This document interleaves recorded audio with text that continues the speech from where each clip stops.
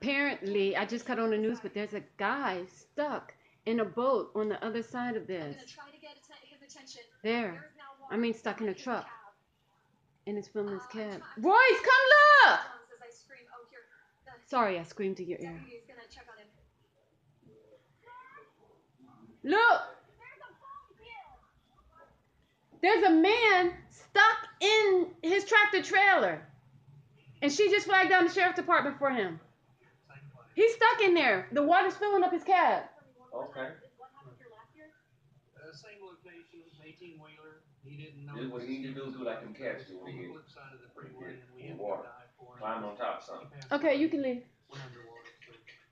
Take you and your mama and go back upstairs. I'm putting the hard part is trying to find a location to put him in there. Once I get in there, I'm gonna have to do it. Thank you so much. Um, that is a really amazing uh, end result to what could have been a deadly situation, which was a deadly situation here just a year ago. Um, if you heard the deputy speak about a, tr- a semi truck that was driving the other way, got stuck, didn't realize how deep the water is. I can't tell you how many times we repeated that today. You never know how deep the water is, and if we can turn around, Mario will show you the clearance level on this bridge is 16 feet 9 inches. Look at how close the water is to reaching that. So that's that's probably 16 feet even, right around there. Uh, estimating from this distance, incredibly dangerous. And this water, folks, it, it's rising. Um, I don't know, Mario, if you can zoom in on the cab here, and you can see water filling it. Oh my goodness. All of those items in that truck right now are floating because of the amount of Oh my that's pouring into the goodness. truck, into the cab. The driver Oh my gosh. We've got the boat coming down. It looks like it's gonna put in right down here at the exit for Aldine Westfield, which is now a boat ramp. This is no longer a, a freeway exit. It's a boat ramp for rescue crews. Hopefully they can get to him. Um, it looks like he's okay for now. I think he's hanging on the edge of the window on the other side, um, sitting there waiting it out. But what could have been a, it could have been a deadly situation. Um, this this fellow could have ended up like the driver last year who lost his life at this intersection of Beltway 8 and Hardy Toll Road. Um, it looks like they're they're getting the uh, the boat in there, backing it in there. Look at the man on the news. The. Again, Look at the man on the studio news. has been evacuated. The building has been evacuated. The building taking on water at least two feet at our last update.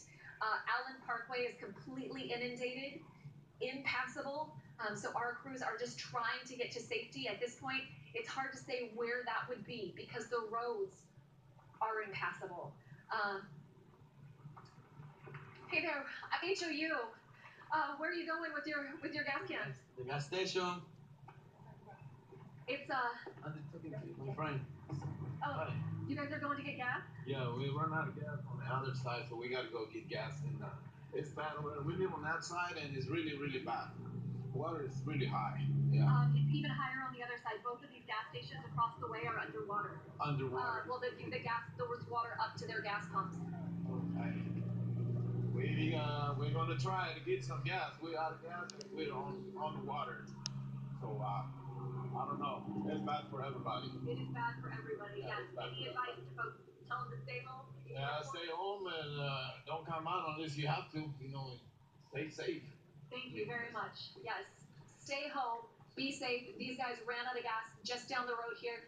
They're going to find gas where they can. Unfortunately, the two gas stations that are right here have water up to the gas pumps. Um, we haven't been able to get down to them, but we know um, that it's, it's not going to be a safe situation, and those pumps are likely uh, turned off, the emergency switch off, activated. Uh, so let's see if the uh, crews have gotten down there. It looks like they're still loading the boat into the into the uh, water here along Beltway 8.